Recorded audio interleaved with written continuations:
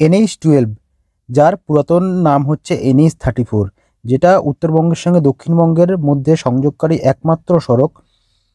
তার সম্প্রসারণের কাজ হচ্ছে, আপনারা সবাই জানেন, কিছুটা অংশ এখনও সম্প্রসারণের কাজ শুরু হয়নি।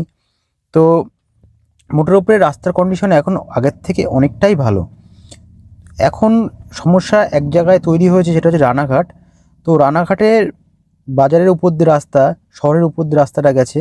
তার জন্য রানাঘাটকে যানজট মুক্ত করার জন্য চারটে নতুন ফ্লাইওভার তৈরি হচ্ছে বা ব্রিজ তৈরি হচ্ছে, যেটা হোক আপনারা বলতে পারেন। তো এখন প্রত্যেক দিন নিয়ত এই রানাঘাটের রেল ব্রিজে জ্যাম লাগছে। দেখুন রানাঘাটের রেল ব্রিজে জ্যামে আমি দাঁড়িয়ে আছি। অনেকক্ষণ ধরে দাঁড়িয়েছিলাম, প্রায় পনেরো কুড়ি মিনিট ধরে দাঁড়িয়েছিলাম, তারপর আস্তে আস্তে গাড়ি চলছে। তো এই যে ওভারপাসটা তৈরি হচ্ছে, রেল ব্রিজটা তৈরি হচ্ছে, এটা তৈরি হয়ে গেলে রানাঘাটের এই যে জ্যামটা অনেকটাই এর হাত থেকে আমরা মুক্তি পাবো। অনেক দূর কাজ এগিয়ে গেছে। যখন আগের বারে যখন আমি আপডেট দিয়েছিলাম এই রাস্তার, তখন একদম গ্রাউন্ড লেভেলে কাজ হচ্ছিল মাটিতে।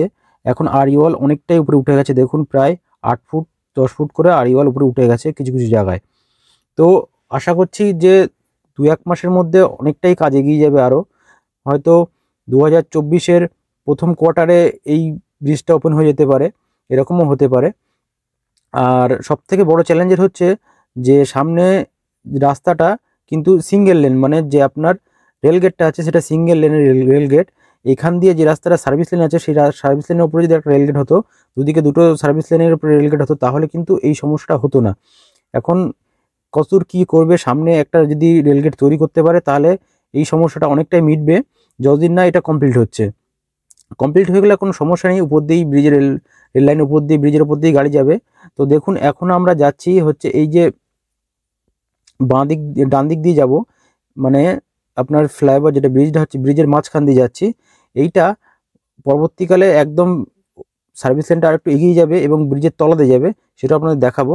তো এই চারটে যে পরিকাঠামো নির্মাণ হচ্ছে, তার মধ্যে একটা অলরেডি খুলে দেওয়া হয়েছে, ডিসেম্বরের প্রথম, একদম প্রথমের দিকে, এক দুই তারিখের দিকে। তো সেটাতে এখন গাড়ি যাচ্ছে এবং পুরনো যে ব্রিজটা আছে, চুনি নদীর যে ব্রিজটা, সেটা ওপেন করে দেওয়া হয়েছে। আপনারা হয়তো অনেকে শুনেছেন। আর পাশেরটার কাজ রিপেয়ারিংয়ের কাজ চালু হয়েছে। তো খুব তাড়াতাড়ি কাজ এগোনোর চেষ্টা হচ্ছে। যতদিন না রানাঘাটটার সমস্যা মিটবে, রানাঘাটের কোনো অল্টারনেটিভ রাস্তা ছিল না। মানে মানে এটাকে বাদ দিয়ে মানে এটাকে বাইপাস করে দেওয়ার কোনো ব্যবস্থা ছিল না বলেই এখান দিয়েই রাস্তাটা তৈরি করছে। তো অনেকটাই সমস্যা মিটবে, দেখা যাক কি হয়। চলুন, আপনাদের এই রাস্তাটি আপডেট দেবো রানাঘাট যে কতদূর কী কাজ হয়েছে রাস্তার আজকে। তার আগে আমি প্রবীর আর আপনাদের স্বাগত নতুন একটি ভিডিওতে। এই দেখুন, রানাঘাটের এই যে পরিকাঠামোটা এটা অনেকদিন আগে নির্মাণ হয়ে গেছে। শুধু অ্যাপ্রোচ রোডের দুদিকে কাজ হচ্ছে, যে র্যাম্প রোডটা ওইদিকেও র্যাম্প রোডের কাজ হচ্ছে, এদিকেও র্যাম্প রোডের কাছে কাজ হচ্ছে। তো এইখান থেকে যারা ব্রিজ ধরবেন, যারা রানাঘাটের ডান দিক বাদিক শহরে ঢুকবেন না, তারা কিন্তু এইখান থেকে যেই অ্যাপ্রোচ মানে যে আপনার র্যাম্প রোড শুরু উঠলেন, এখান থেকে আর এক আপনার নিচে নামতে পারবেন না সার্ভিস লেনে আসতে পারবেন না।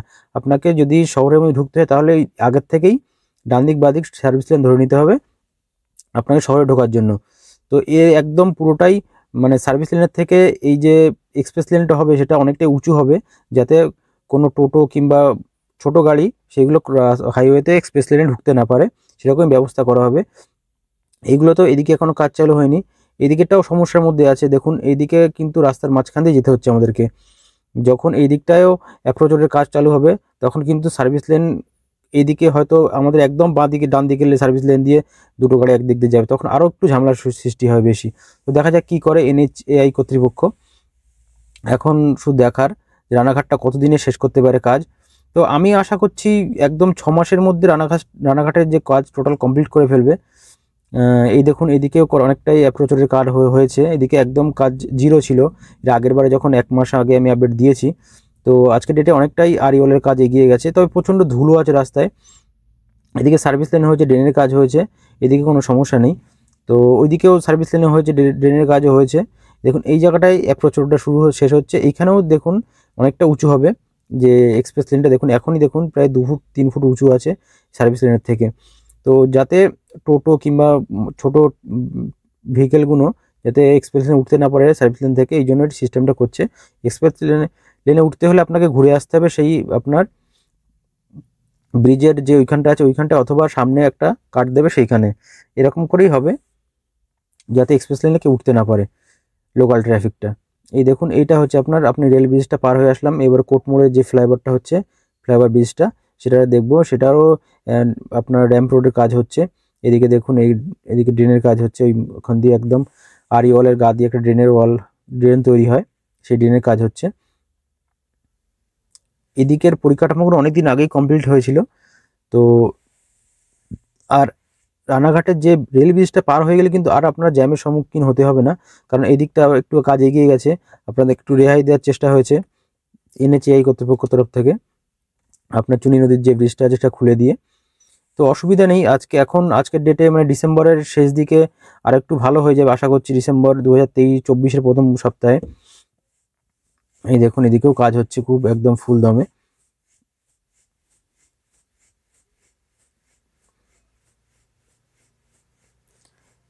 এইটা হচ্ছে রানাঘাট কোটমোড় এখানে একটা একটু ট্রাফিক আছে, যেহেতু একটু পিক টাইম এটা।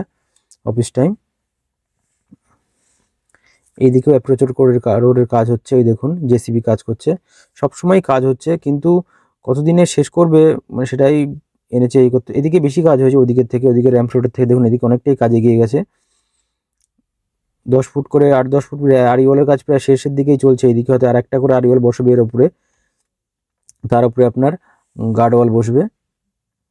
এখান থেকে একদম সোজা এই দিকের সার্ভিস লেনটা চলে গেছে আপনার চুনি নদীর উপরে, চুনি নদীর যে ব্রিজটা হয়েছে সেই তার উপর দিয়ে।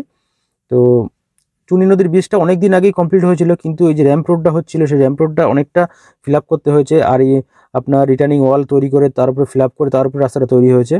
অনেকটাই গর্ত ছিল ডিপ ছিল এইখানটায় সব ফিল করা হয়েছে। তারপরে আপনার এই রাস্তাটা তৈরি হয়েছে। দেখুন, এই দিক অনেকটা ডিফারেন্স আছে, দেখ বুঝতে পারবেন, অনেকটা নিচু ওই দিকটা, আমার বাঁ দিকটা। এই দেখুন, আপনার নতুন যে চুনি নদী ব্রিজটা ওপেন হয়েছে, এইখান থেকে এই যে দিকে আর রিটার্নিং ওয়ালের এগুলো রিটার্নিং ওয়াল হয়েছে, একদম নিচের থেকে উঠে এসেছে একদম। এই দেখুন, এইটা হচ্ছে আপনার মেন ব্রিজটা আর এই দিকে যেটা আপনার পুরনো ব্রিজটা আছে, সেটা রিপেয়ারিং এর কাজ চলছে। তো রিপেয়ারিং এর কাজ খুব বেশি দিন লাগে না দু তিন মাসের মধ্যে হয়ে যাবে। তো তারপরে আবার ওইটা ওপেন করে দেওয়া হবে, তখন ওরা অনেক অসুবিধা কেটে যাবে, রাস্তার অনেক যানজট কেটে যাবে এই রাস্তার। তো আশা করা যাচ্ছে যে এই দু হাজার ডিসেম্বরের দিকে অনেকটা জ্যাম, যানজট মিটবে এই রাস্তার। তো দেখা যাক কতদূর কী কাজ হয়। আপনাদের কাছে রানাঘাট পুরোটাই দেখাবো।